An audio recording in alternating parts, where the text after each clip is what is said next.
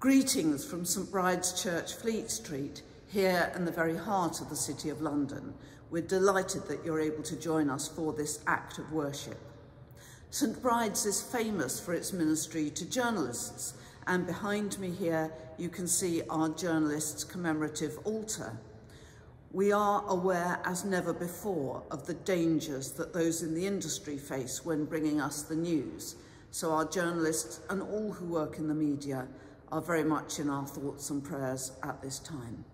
However, we are, of course, here for all of you, journalists and everyone else. Do please leave us a comment or a like and tell us where you're listening from. It's always good to hear from you. And if you would like to donate to help support these services, uh, you'll find details of how to do so in the accompanying text. But now, may the light and peace of Christ be with us all as our worship begins.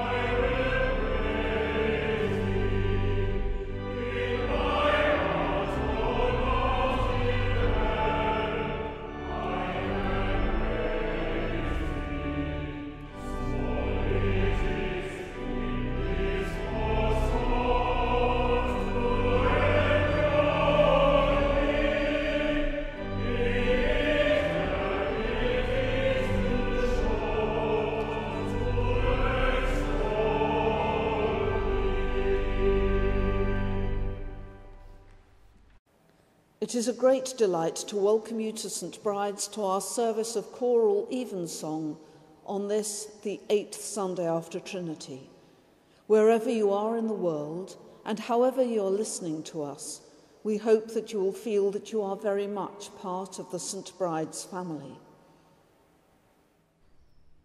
Beloved, we are come together in the presence of Almighty God and of the whole company of heaven to offer unto him through our Lord Jesus Christ our worship and praise and thanksgiving, to make confession of our sins, to pray as well for others as for ourselves, that we may know more truly the greatness of God's love and show forth in our lives the fruits of his grace, and to ask on behalf of all men such things as their well-being doth require Wherefore, let us kneel now and humbly confess our sins to Almighty God.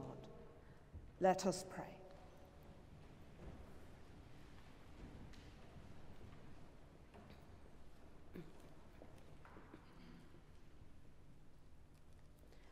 Almighty and most merciful Father, we have erred and strayed from thy ways like lost sheep. We have followed too much the devices and desires of our own hearts. We have offended against thy holy laws. We have left undone those things which we ought not to have done. And we have done those things which we ought not to have done. And there is no health in us. But thou, O Lord, have mercy upon us, miserable offenders. Spare thou them, O God, which confess their faults. Restore thou them that are penitent, according to thy promises declared unto mankind, in Christ Jesus our Lord. And grant, O most merciful Father, for his sake, that we may hereafter live a godly, righteous, and sober life, to the glory of thy holy name. Amen. May the Almighty and merciful Lord grant unto you pardon and remission of all your sins, time for amendment of life, and the grace and comfort of the Holy Spirit. Amen.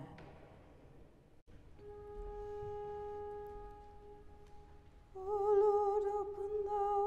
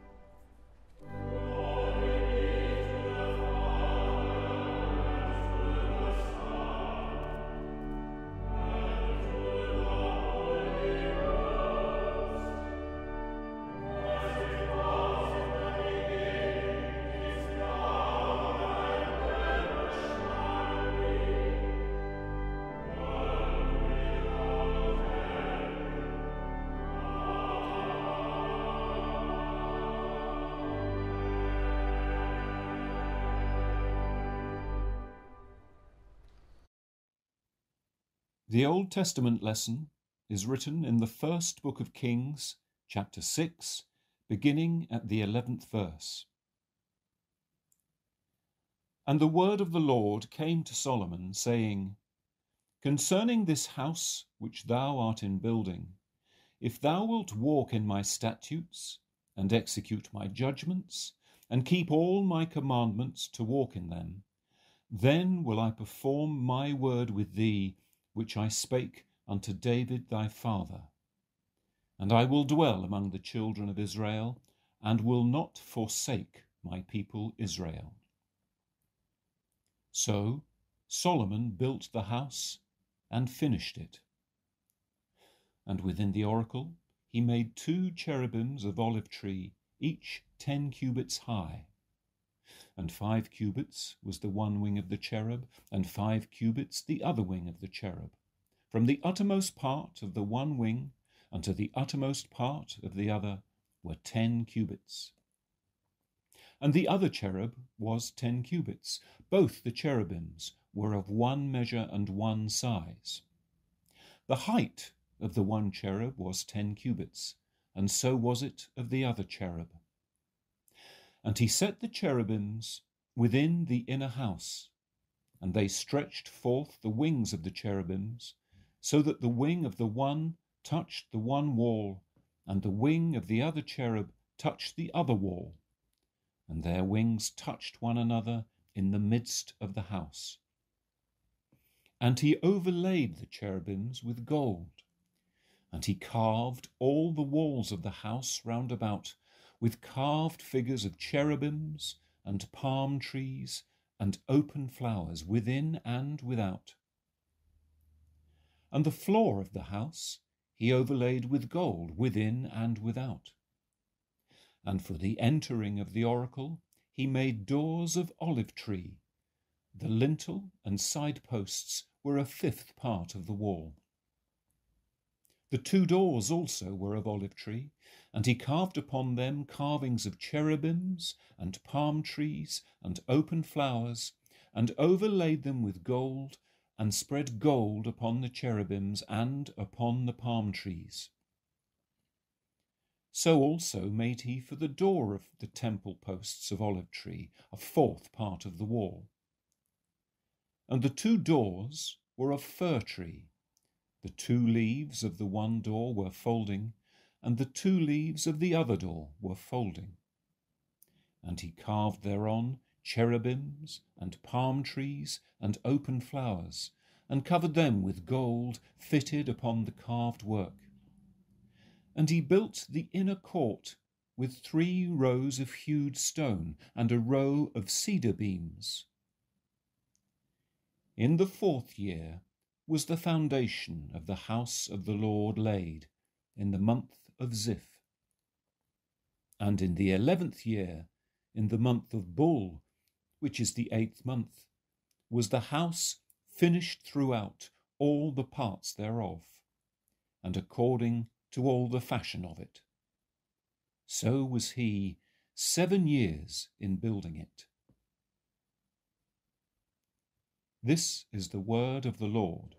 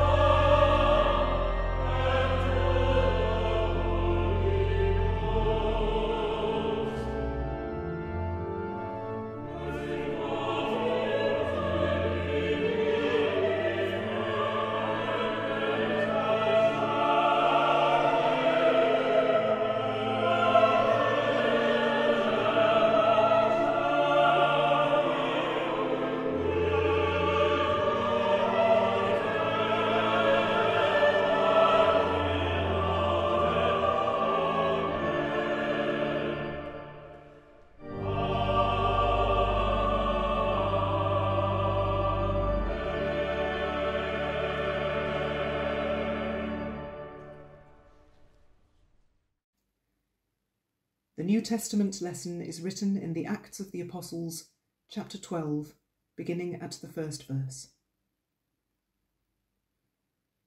Now, about that time, Herod the king stretched forth his hands to vex certain of the church, and he killed James the brother of John with the sword.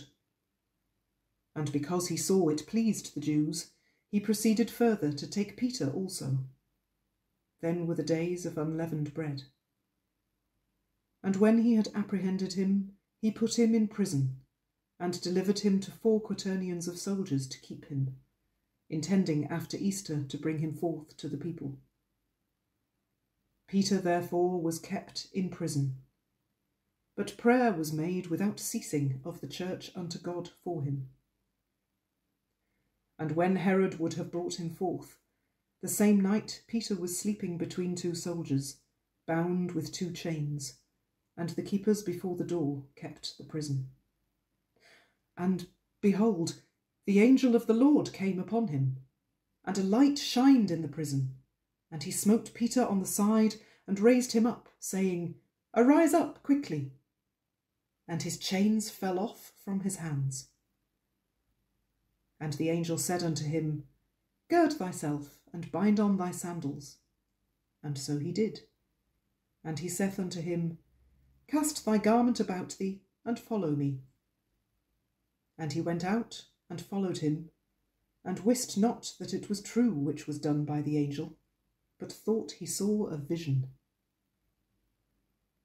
When they were past the first and the second ward, they came unto the iron gate that leadeth unto the city, which opened to them of his own accord. And they went out and passed on through one street, and forthwith the angel departed from him. And when Peter was come to himself, he said, Now I know of a surety that the Lord hath sent his angel, and hath delivered me out of the hand of Herod, and from all the expectation of the people of the Jews. And when he had considered the thing, he came to the house of Mary the mother of John, whose surname was Mark where many were gathered together praying. And as Peter knocked at the door of the gate, a damsel came to hearken, named Rhoda. And when she knew Peter's voice, she opened not the gate for gladness, but ran in and told how Peter stood before the gate. And they said unto her, Thou art mad. But she constantly affirmed that it was even so. Then said they, it is his angel. But Peter continued knocking, and when they had opened the door and saw him, they were astonished. But he, beckoning unto them with the hand to hold their peace, declared unto them how the Lord had brought him out of the prison. And he said, Go, show these things unto James and to the brethren. And he departed and went into another place. This is the word of the Lord.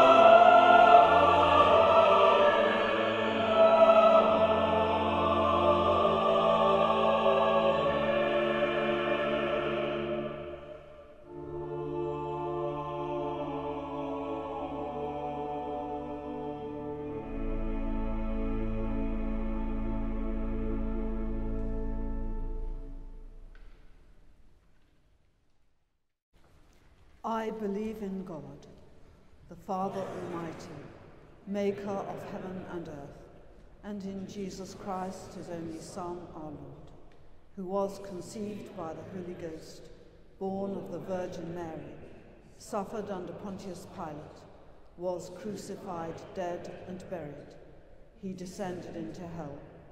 The third day he rose again from the dead. He ascended into heaven and sitteth on the right hand of God the Father Almighty. From thence he shall come to judge the quick and the dead. I believe in the Holy Ghost, the holy Catholic Church, the communion of saints, the forgiveness of sins, the resurrection of the body, and the life everlasting. Amen. The Lord be with you.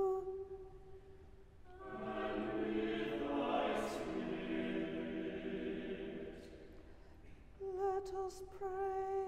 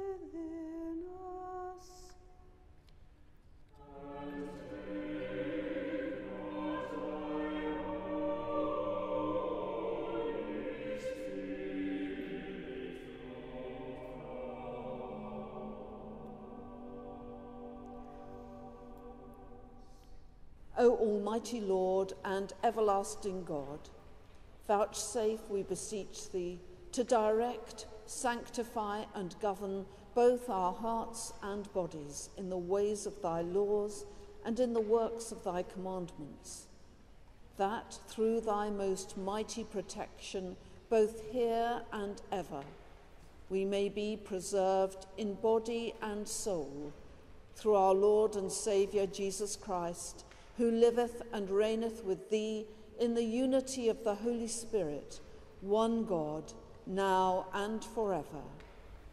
Amen. O God, from whom all holy desires, all good counsels, and all just works do proceed, give unto thy servants that peace which the world cannot give, that both our hearts may be set to obey thy commandments, and also that by thee, we being defended from the fear of our enemies, may pass our time in rest and quietness through the merits of Jesus Christ our Saviour. Amen.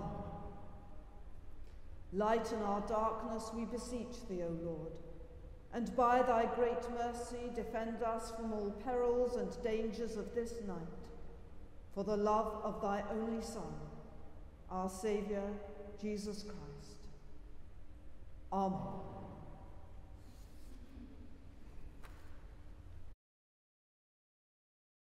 O God, from whom all holy desires, all good counsels, and all just works do proceed, give unto thy servants that peace which the world cannot give, that both our hearts may be set to obey thy commandments, and also that by thee we, being defended from the fear of our enemies, may pass our time in rest and quietness through the merits of Jesus Christ, our Saviour. Amen. Lighten our darkness, we beseech thee, O Lord, and by thy great mercy defend us from all perils and dangers of this night, for the love of thy only Son, our Saviour, Jesus Christ. Amen.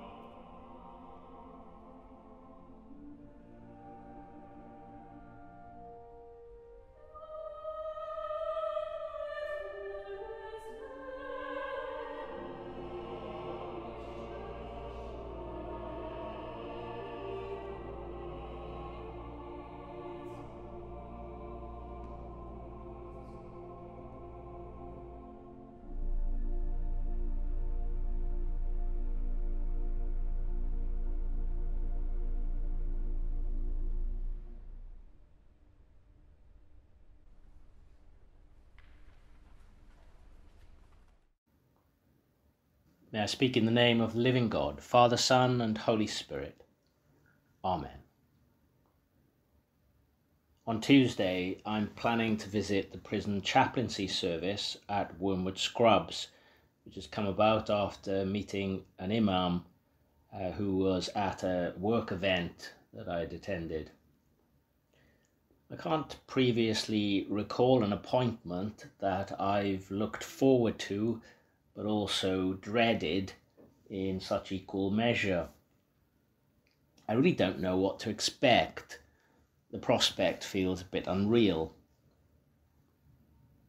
Well, the passage from the Acts of the Apostles that we've just heard tells of Peter's miraculous escape from a prison as he awaited his execution at the hands of Herod Agrippa. And the account has something of a dreamlike filmic quality about it. We are told that Peter thought this incident to be a dream before he came to himself outside the iron gate and hurried to meet his brothers and sisters. Barton and, and Muddiman, in their biblical commentary, suggest that this is one of the most sensational episodes in the book of Acts. The timing is very precise, they note. Despite his perilous and doubtless uncomfortable position, Peter is sleeping peacefully between his guards. The sudden appearance of the angel is reminiscent of Christ's nativity, and scholars suggest that the style of the writing recalls uh, passages in ancient literature of marvellous portents or escapes. What are we to make of it? It's helpful to recognize, I think, that the Gospel's teaching about the purpose of miracles is paradoxical. In his book, The Meaning of Miracles, Jeffrey John, the former dean of St. Albans Cathedral, explains this very well. At first sight, miracles seem to be intended as straightforward demonstrations of Jesus' divine power and evidence of the inbreaking of God's kingdom. At the same time, though, the Gospels contain strong warnings about the dangers of being impressed by signs and miracles. And as the story of his temptation suggests, Jesus refused to use his powers to further his own ends. There is a particular theology or understanding of the nature of divine revelation that it's helpful to recognize here, namely that faith is a gift from God, and challengingly, that God may choose to withhold that gift. Our receptivity, though, is important. In Matthew's Gospel, Jesus says to the crowds, You people will listen and listen, but you will not understand. You will look and look, but you will not really see.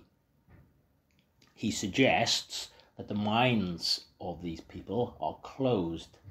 They have ears, but they don't listen. They have eyes, but they refuse to see.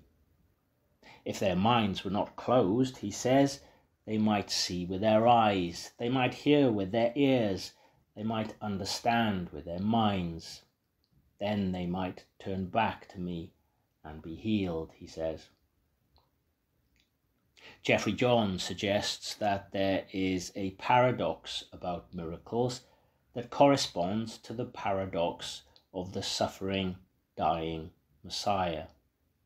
Those around Jesus must understand not only his identity as Messiah, but also the true nature of his Messiahship. Their commitment to him must not come from the attraction to power, or if it does at first, it must change to a deeper commitment, and they must ultimately be prepared to follow in the same way of sacrifice, to take up their cross and to follow him. A personal belief in Jesus that goes deeper than self interest and the mere worship of power is at least part of what the gospel means by faith.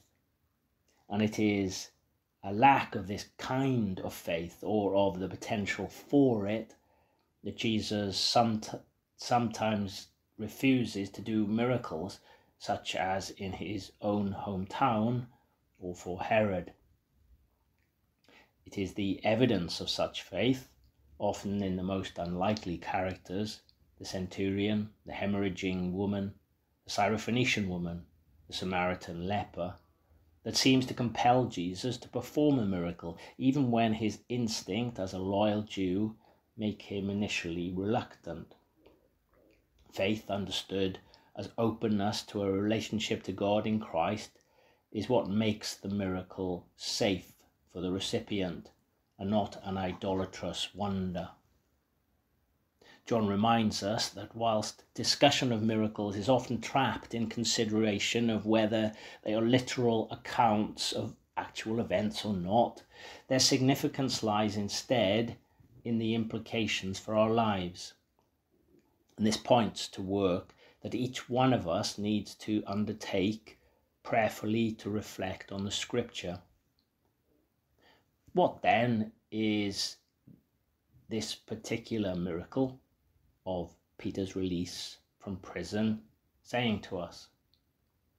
Well, it surely indicates an understanding that the way of Christ can provide us with a release from the things that bind us. We may hear examples of this at work in our prison chaplaincy services of lives turned around. Jonathan Aitken, formerly a member of John Major's cabinet, who went to prison for perjury before later becoming an Anglican minister, speaks of his experience. I discovered, he said, as monks have discovered down the centuries, that cells are a wonderful place to pray. I was blessed by never feeling claustrophobic. It was a tiny space, the cell is, but it was a wall of space rather than just a kind of cubicle with bars. And in that privacy and in that stillness, I did feel close to God in prayer. I'd never had so much leisure that I can remember, hours and hours of time, so I structured a certain prayer discipline. I kept morning and evening and midday prayer. I slipped into it so easily. So there, it seems, his life was turned around. And we each, of course, have our own psychological prisons, whatever they may be, Christ promises release. In Luke's Gospel, Jesus says, The Spirit of the Lord is upon me, because he has anointed me to proclaim good news to the poor. He has sent me to proclaim liberty to the captives and recovering of sight to the blind, to set at liberty those who are oppressed.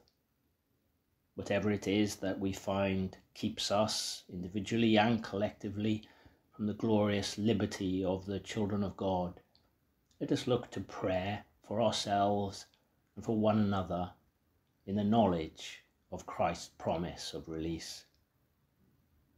To him be all glory, now and to the ages of ages. Amen.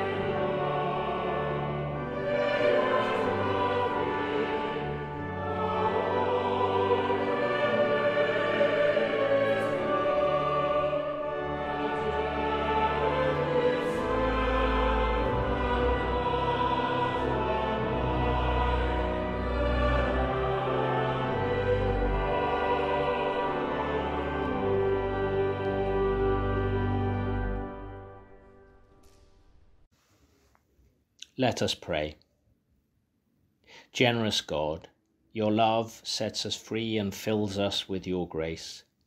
Set our hearts at peace that we may trust in your rich bounty. Give us patient and pure hearts, O God.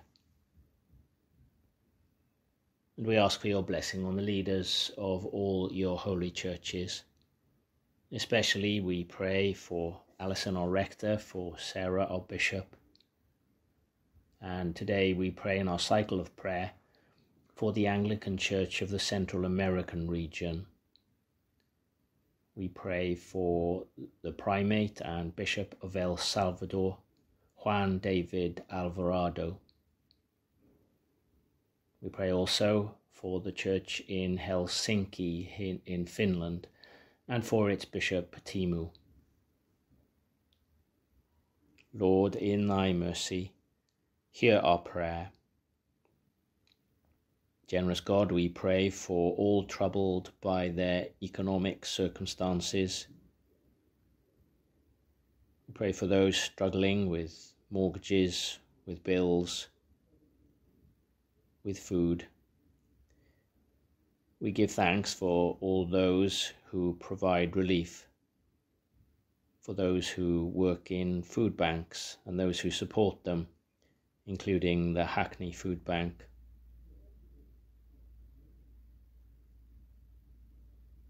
Lord, in thy mercy, hear our prayer. Generous God, your will for us is unity. We pray for peace in the world and for all those areas where there is violence and conflict. We pray for those intent on the ways of violence that you would turn their hearts. And we ask for your blessing on the leaders of the nations. Bind us together and expand our charity to reach all your people. Lord, in thy mercy, hear our prayer. Generous God, your compassion extends throughout creation. Hear our prayer for all in any kind of need. We remember, especially before you, all those in our parish community in this city and around the world sustain them in their troubles, and restore in them hope in you. Lord, in thy mercy, hear our prayer. Generous God, you are the source and goal of all life. We remember before you all those who have recently departed and those whose year's mind comes at this time. Rest eternal grant unto them, O Lord, and let light perpetual shine upon them. At the final judgment, draw us all to your treasury in heaven. Lord, in thy mercy, hear our prayer. We commend ourselves and all for whom we have prayed to the mercy and protection of God. Merciful Father, accept, these, prayers, prayers for, the sake of thy Son, our Saviour Jesus Christ. Jesus Christ. Amen.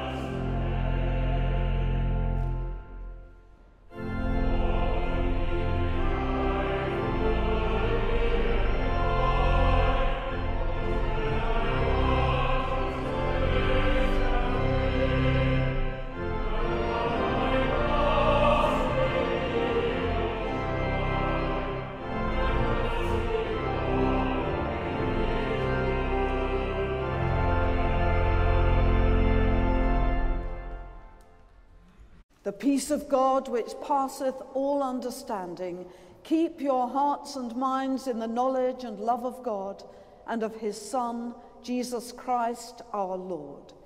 And the blessing of God Almighty, the Father, the Son, and the Holy Spirit rest upon you and remain with you now and always.